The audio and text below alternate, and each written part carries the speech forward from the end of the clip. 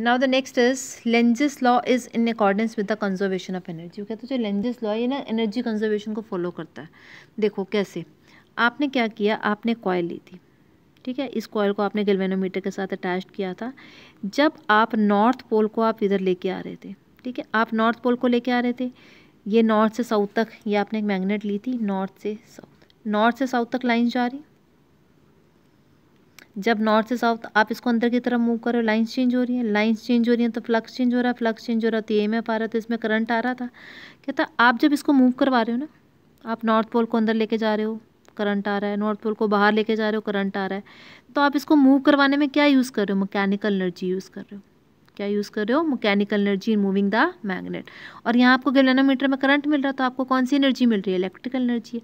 तो mechanical energy किसमें convert हो रही है? इलेक्ट्रिकल एनर्जी में। ये तो आपने थ्रोटिकली बता दिया कि मैकेनिकल एनर्जी आप मैग्नेट को मूव करवाए मैकेनिकल एनर्जी है, और यहाँ पर करंट प्रोड्यूस हो रहा है तो इलेक्ट्रिकल एनर्जी है तो मैकेनिकल एनर्जी किसमें कन्वर्ट हो रही है? इलेक्ट्रिकल एनर्जी में। ये था तो थ्रोटिकली बताना। अब इस बात को मैथमेटिकली कैसे प्रूव करेंगे? ना see now we know that अभी हम करके हटे हैं कि जब हम मूवमेंट करवाते हैं तो मोशनल ई एम एफ़ आता है, क्या फॉर्मूला होता है इसका ई एम एफ़ का B L V now current induce in a loop अब ई एम एफ़ इतना आ गया? सपोज़ लूप में इस लूप का रेजिस्टेंस है आर ठीक है let R is a resistance of the loop जिसमें लूप में आया इंड्यूस हुआ करंट तो आई कितना होगा? ई बाय आर आई क्या आया आपके पास? ई बाय आर ई की वैल्यू पुट करो। E was B L V upon R ना force require to move a conductor in a magnetic field देखो, आपने क्या किया था? आपने लूप लिया था ना एक। ये आपने मूवेबल था ये, है ना? आपने परपेंडिकुलर फ़ील्ड लगाया था, पिछले टॉपिक में आपने किया था। अब आपने इसको मूव करवाना है, ठीक है? इसमें से इंड्यूस ये बेसिकली क्या हो रहा है? जब आप इसको मूव करवा रहे हो तो इसमें ई एम एफ़ आ रहा है ई एम एफ़ आ रहा है मतलब करंट आ रहा है। कितना करंट आ रहा है? B L V by R ना force require to move a conductor L M in a magnetic field अब आपने देखो, यहाँ पर करंट आ रहा है। अब आप इसको और मूव करवाना चाहते हो अंदर की तरफ़ तो आपको कुछ फोर्स मिलेगी सामने से। ई एम एफ़ यहाँ करंट आ गया। तो अगर आप इसको मूव करवाने पर चाह रहे हो तो फोर्स रिक्वायर्ड कितनी फोर्स की ज़रूरत होगी? फोर्स का फॉर्मूला पता है, आपको पता है, जब एक करंट कैरी कंडक्टर को मैग्नेटिक फ़ील्ड में रखते हैं। अब क्या हुआ बेसिकली जब आपने इसको पहले मूव करवाया जब आपने पिछले टॉपिक में किया था, जब आपने इसको पहले मूव करवाया तो इसमें इंड्यूस करंट आ गया कॉयल में। और उस इंड्यूस करंट को हमने क्या नाम दिया था? आई इज़ इक्वल टू अभी जब हमने फॉर्मूला पुट किया है, हमने क्या कहा है? आई किसके बराबर हो गया? B L V by R अब क्या हुआ देखो?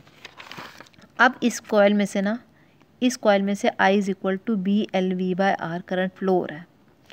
अब करंट कैरिंग कंडक्टर है परपेंडिकुलर फ़ील्ड तो लगा हुआ है क्रॉस फ़ील्ड ऐसे फ़ील्ड लगा हुआ है, ठीक है? एक करंट कैरिंग कंडक्टर आपने कहाँ रखा है? मैग्नेटिक फ़ील्ड के अंदर रखा है।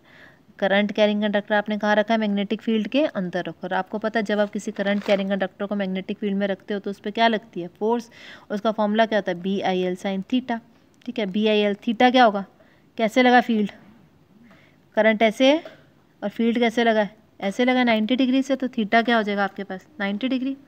Okay so F is equal to B I L sine theta okay now B I L sine theta क्या हो गया? नाइन्टी क्योंकि फ़ील्ड कैसा है? परपेंडिकुलर लगा हुआ है। आई की वैल्यू पुट करो। B L V by R ठीक है? मल्टीप्लाई कर दो अंदर आई की वैल्यू पुट करके।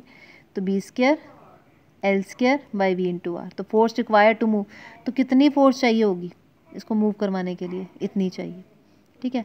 अब फोर्स का फॉर्मूला ये है तो पावर कितनी चाहिए होगी? पावर का फॉर्मूला कहता है फोर्स इंटू विलासिटी तो B square L square V upon R into velocity velocity से मल्टीप्लाई कर दो तो आ जाएगा B square L square V square by R तो जब इंड्यूस ई एफ़ आया तो आपको जब इस लूप को, इस वाले एंड को एल एम जिसको आपने नाम दिया था, इसको मूव करवाना है तो आपको इतनी पावर चाहिए।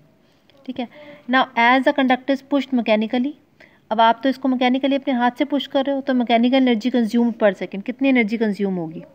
पावर का फॉर्मूला क्या होता है? आई स्केयर आर आई की वैल्यू पुट करो। B L V by R का स्केयर इंटू आर सॉल्व करो B square L square V square upon R square into R R से आर कैंसिल तो क्या है? B square L square V square upon R आप देख लो, आप mechanical energy जितनी यूज़ कर रहे हो, उसको मूव करवाने में आप इसको मूव करवाने में कितनी पावर लगा रहे हो? B square L square V square by R उतनी पावर रिक्वायर्ड है to push the conductor yes और नो मतलब जितनी पावर आप इसको मूव करवाने के के लिए कर रहे हो, उतनी पावर से इसको रोक रहा है।